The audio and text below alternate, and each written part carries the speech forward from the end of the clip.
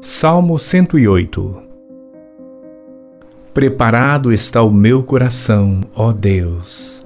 Cantarei e darei louvores até com a minha glória. Despertai, saltério e harpa. Eu mesmo despertarei ao romper da alva. Louvar-te-ei entre os povos, Senhor, e a ti cantarei louvores entre as nações. Porque a tua benignidade se estende até aos céus e a tua verdade chega até as mais altas nuvens. Exalta-te sobre os céus, ó Deus, e a tua glória sobre toda a terra. Para que sejam livres os teus amados, salva-nos com a tua destra e ouve-nos.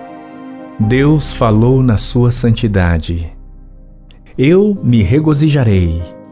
Repartirei a Siquém e medirei o vale de Sucote.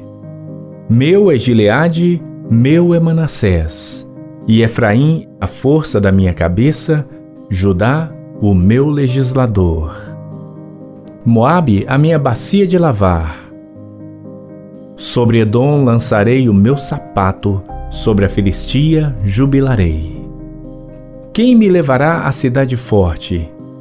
Quem me guiará até Edom? Porventura não serás tu, ó Deus, que nos rejeitaste?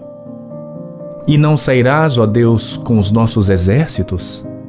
Dá-nos auxílio para sair da angústia, porque vão é o socorro da parte do homem. Em Deus faremos proezas, pois Ele calcará aos pés os nossos inimigos.